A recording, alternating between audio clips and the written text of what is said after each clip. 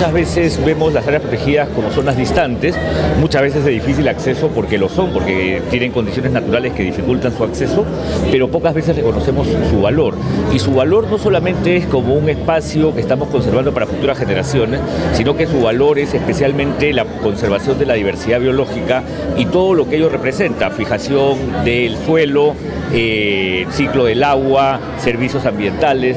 e insumos para muchos productos que consumimos. Gran parte de los productos alimenticios, de los productos farmacéuticos, de los productos nutracéuticos están sustentados en la diversidad biológica. Gran parte, no, de hecho nuestra gastronomía está fuertemente sustentada en el hecho de ser un país diverso. Hemos hecho hoy día también entrega del libro El sabor de la naturaleza a las distintas unidades de gestión educativa, las UGELES, que justamente muestran cómo de manglares de Tumbes vienen las conchas negras y los cangrejos, cómo de Huascarán las papas, como de Tambopata Candamo la castaña, como de Pacaya Samiria el paiche y cómo estos son insumos para justamente nuestra gastronomía. Y lo interesante es que esta es una campaña que la hacemos con el Ministerio de Educación, porque ellos son el ente rector de la educación en el Perú, y nosotros aportamos la parte ambiental y a través del Servicio Nacional de Áreas Naturales Protegidas aportamos todo lo que es la parte de la conservación. Esto se suma a su vez a la campaña que como Ministerio del Ambiente tenemos que se llama Reeduca, Inspira el Cambio, que es una campaña para generar cambios de pensamiento, cambios de conducta.